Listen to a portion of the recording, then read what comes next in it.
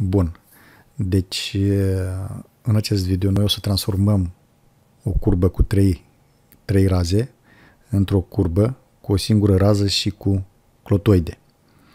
Deci aici avem o curbă. Curba respectivă a fost amenajată cu trei raze astfel încât să pice cât mai bine pe existent, da? adică să ne emulăm pe existentul uh, acestui drum.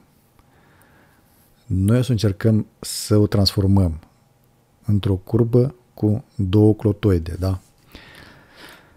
Bun, ca să facem acest, această procedură trebuie să ștergem razele respective cu alineamentele între ele, da? Pentru că noi dacă o să lăsăm, de exemplu, raza asta și o să încercăm să ne legăm, s-ar putea să nu ne iasă, da? Pentru că raza respectivă este conectată tangențial față de aceste elemente.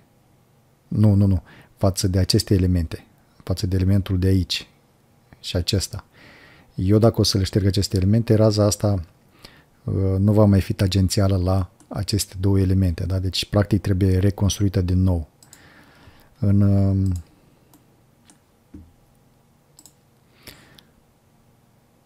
Așa lucrează civilul acum, na, ce să facem. Deci, teoretic, dacă a rămas o rază, ia și leagă-te de elementul precedent, da, față de care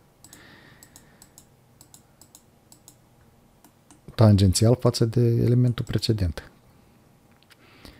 Bun. Deci avem elementul aici, aici și acum ne legăm cu o rază cu uh, clotoide. Deci aici este elementul free spiral, curv, spiral, nu știu ce. Dăm click pe buton, selectăm primul element, al doilea element, Enter.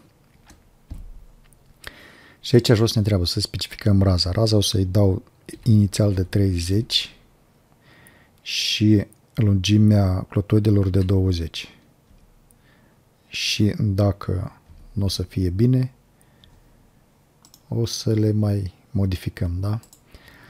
Bun, acum încercăm să le modificăm. Deschidem tabelul ăsta cu elementele geometrice ale axului și încercăm să modificăm, da? Deci aici avem clotoida, prima clotoidă, lungimea arcului de cerc și a doua clotoidă. Și dacă tragem un pic de asta, avem și raza aici, 30. Hai să încercăm să mărim raza la 60.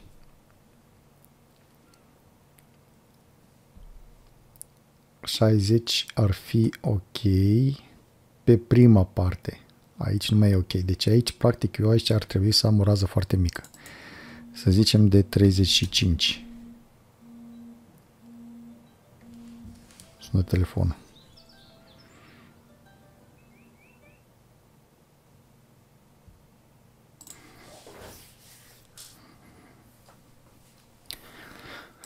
Bun, să, să continuăm. Din ce văd eu aici, avem așa. Geometry Editor. Din ce îmi dau eu seama, aici ar trebui să vină o clotoidă foarte mare. Asta ar însemna că aici, la ieșire, ar trebui să bag un 50. Poate chiar mai mult. Să o tragă. 100. Numere. 75. Să încercăm să încadrăm. Dacă nu, s-ar putea să nu meargă aici să încadrăm o Aici ar merge o de cap la cap. Din păcate, ce vrem să facem, ce vreau să fac eu numere.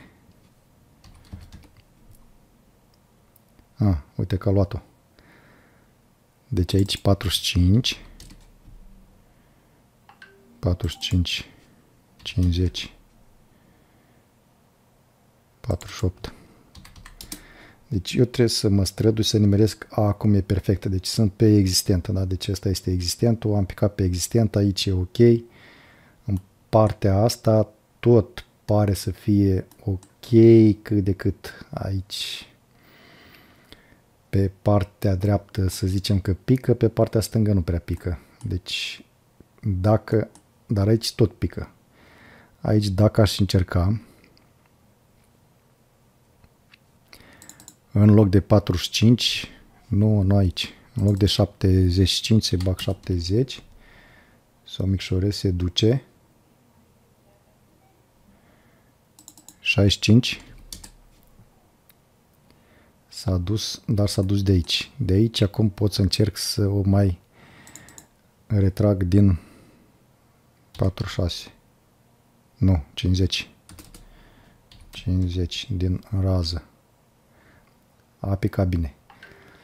Deci aici e bine, aici e bine, aici cât de cât e bine. Dacă ne uităm, am putea să mai tragem și de ăsta să-l centrăm. Asta să-l centrăm aici. Și acum ar trebui să fie perfect.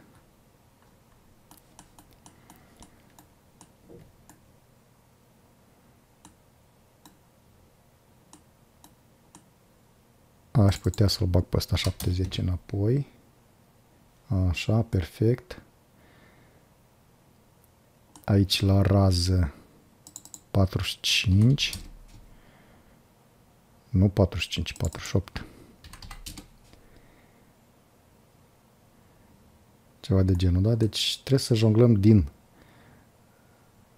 valori astfel încât să nimerim cât mai pe existent. În principiu, eu zic că e ok.